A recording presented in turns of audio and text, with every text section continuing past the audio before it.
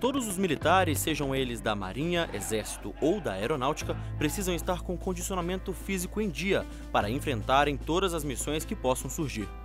No Exército Brasileiro, por exemplo, o incentivo à prática de atividades físicas começa desde a escola preparatória. Todos os dias, os alunos passam pelo TFM, o treinamento físico-militar. Mas os esportes também têm vez aqui na SpaceX. No primeiro semestre do ano acontece a Olimesco, uma Olimpíada interna da escola preparatória em que os alunos mostram suas habilidades em diversas modalidades, como esgrima, tiro e atletismo. O aluno Daten fala do companheirismo e do lazer que a prática da esgrima proporciona. A esgrima nos auxilia tanto no divertimento, né, que sai da rotina que está um pouco pesada, a gente vem para cá, consegue se divertir, ainda mais que consegue dar confiança para a gente nas atividades de fora. E o respeito também, porque a esgrima é um esporte onde tem muito respeito. Apesar de um adversário ir contra o outro, fora da esgrima somos todos amigos.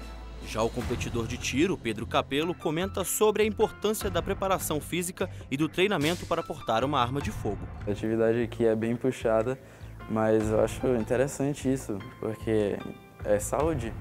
Então acaba que é necessário. Para o tiro você tem que ter bastante calma, você tem que ter um controle muito é, intenso das emoções, porque não é só chegar e atirar.